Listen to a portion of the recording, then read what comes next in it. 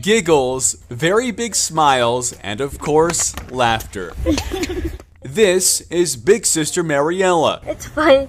Just playing with them. and she has her hands full. She's Mariana, Viviano, Valentina, and Mariela. Their neighborhood is right next to the border. Their mother says in the past they weren't allowed to play in their front yard because of criminal activity. I was shaking, something like that.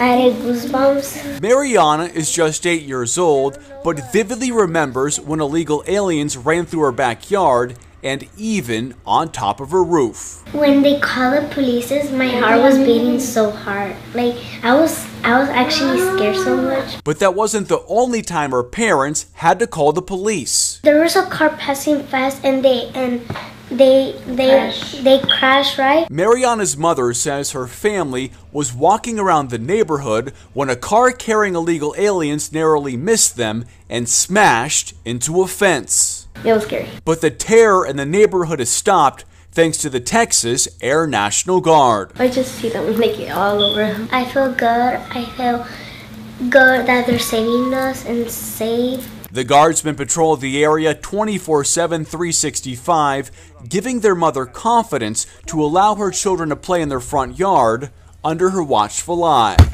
Ooh.